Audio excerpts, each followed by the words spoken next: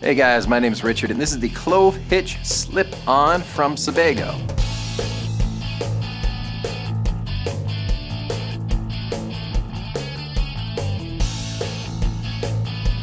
Now these shoes have a really nice leather upper with a slip-on construction. Got some goring here so you'll get a customized secure fit.